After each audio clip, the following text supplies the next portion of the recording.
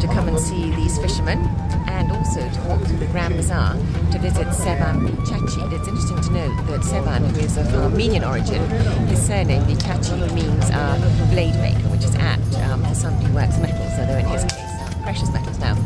Uh, Sevan stands out amongst the Turkish jewelers for his huge originality and for daring to stand out from the crowd and create something that's truly original and not a pastiche of the past uh, European style jewellery. And what he does is he managed to crystallize in his exuberant creations uh, the culture that is um, Istanbul. So that's Ottoman, Byzantine, Christian, it's all there. Now, why Istanbul has been so important in terms of jewellery is the same reason it's been important um, in terms of culture, um, history, and of course commerce. And the reason is right behind me, and it's this busy port that even at this time in the morning is uh, full of boats and activities because this was the great meeting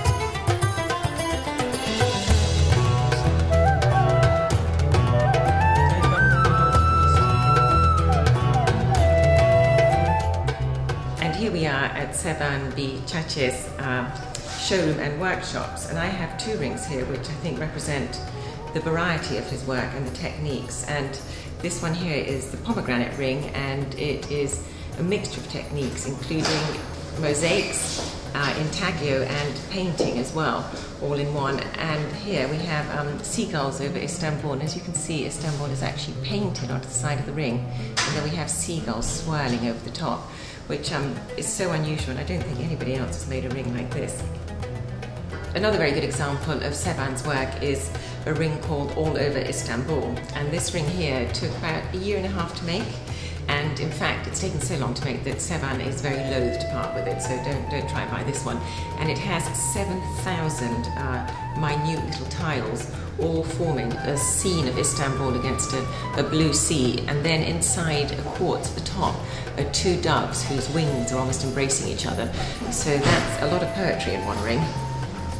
I've been around Sevan's workshops, and unfortunately, I can't take you with me because um, Sevan uses lots of techniques which, quite understandably, he'd rather keep it to himself. Um, one of the most amazing techniques that he uses is um, the one that uh, makes uh, objects appear to float inside a stone, like this one here with the seagulls over Istanbul. Now, how he does it, um, as I say, is a mystery, but all I can say is that it does um, employ the intaglio technique, which is reverse stone carving. And, um, and another technique which is very rarely used in jewellery today is micro mosaics. And um, they start off with um, rods like these. Now, these are rejected because they're way too thick, and the real ones are about a human hair's width. Those are then um, cut into little tiles and then applied one by one, no doubt using tweezers, to create a picture. And in this case, it is um, of Istanbul and the history surrounding it. And then is, that is then baked at 1,200 degrees to make it a porcelain mosaic. So all of these techniques are going into these rings.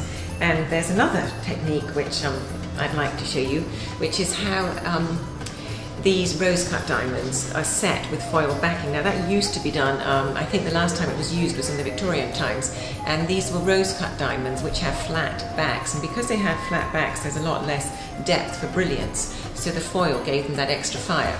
So though Sevan doesn't choose um, diamonds for their flashy bling qualities, when he does want to use diamonds as a statement like this, he'll put foil backings, and each of these little, uh, um, each of these not little large diamonds, has a little um, coat made for it that fits it perfectly, every one of its facets, and that's placed behind it before it's set into the ring, and that gives it that um, very antique look, but with um, with a very attractive sparkle. So those are just three of the techniques that um, Sevan uses, and of course everything else is handmade, um, tapped, hammered, filed um, away, and a ring here can take up to three months to make, and that's um, quite a long time for one piece of jewellery.